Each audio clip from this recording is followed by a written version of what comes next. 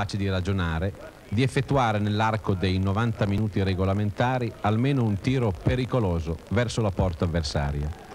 E pensare che per 50 minuti circa i grigi hanno potuto disporre di un uomo in più a causa dell'espulsione, dovuta a somma di ammonizioni, dell'empolese Tricarico. Già il campanello d'allarme era suonato nel primo tempo dell'incontro di domenica scorsa con il Modena, poi l'ingresso in campo di Mariotto aveva dato raziocinio alla manovra grigia. Ad Empoli il capitano c'era, ma nel marasma generale nemmeno lui è riuscito a salvarsi. Motta ha schierato sin dall'inizio una formazione votata all'attacco, con Sacchetti sulla fascia destra, Memmo Ariete centrale, si fa per dire, e Fresta a scorazzare in lungo e in largo per tutto il campo.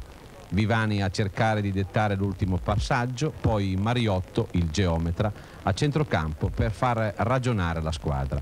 Avallone ha svolto ancora una volta il compito del terzino, mentre Gutili cercava di dare un aiuto in mezzo al campo a Mariotto. Insomma, una gran confusione che è sfociata nella terza sconfitta esterna su tre gare disputate. Il tecnico Brianzolo, al termine della gara, ha scaricato tutte le colpe sui suoi ragazzi, rei di non rispettare le disposizioni da lui impartite. Non ci sentiamo di condividere pienamente tale affermazione. La squadra non ha un gioco proprio e vive sugli sprazzi individuali. Stenta a raggiungere la porta avversaria e quello che preoccupa maggiormente, di cui non ne abbiamo ancora parlato, è la difesa, vale a dire il reparto su cui si pensava di dover fare maggiore affidamento. Sarà un problema di condizione, di preparazione, di adattabilità a certi schemi. Insomma, qualcosa deve essere rivisto e prima che sia troppo tardi è bene farlo subito.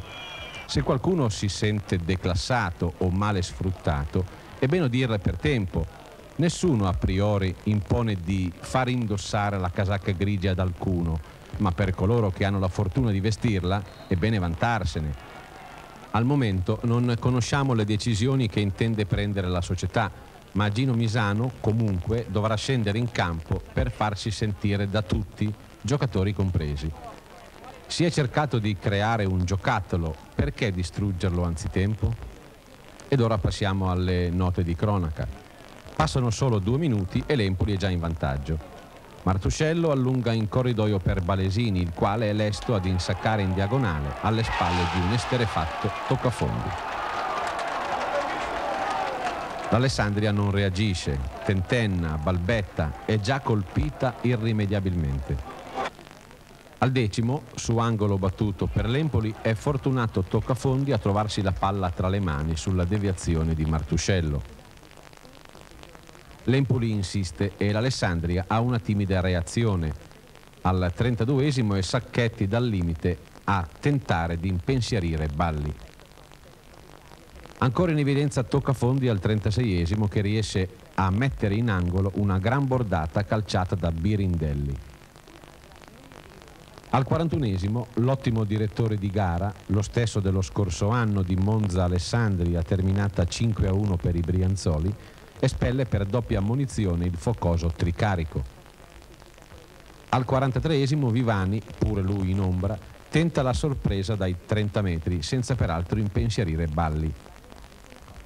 Un minuto dopo Fresta appoggia in aria per Memmo, la cui deviazione non è sufficiente per sorprendere l'estremo toscano. Nella ripresa, nonostante gli inserimenti di Venturi, Bello e Giraldi, l'Alessandria non arriva mai alla conclusione ed è questo anche il motivo per il quale sosteniamo che si prendano provvedimenti. Ancora in evidenza i padroni di casa al quindicesimo con Balesini che supera facilmente Pascucci, deludente la sua prestazione, ma non tocca fondi che blocca terra con una mezza prodezza. Nei rimanenti minuti di gara Motta le tenta tutte, ma il risultato non cambia. Anzi, sono i padroni di casa al 41esimo a raddoppiare. Sacchetti cincischia sul limite, il pressing dei toscani porta palla a Bonfanti, il quale con un delizioso pallonetto beffa l'incolpevole toccafondi. Entusiasmo tra gli azzurri dell'Empoli, mentre tra i grigi serpeggia anche un po' di nervosismo. Pochi vogliono parlare, preferendo il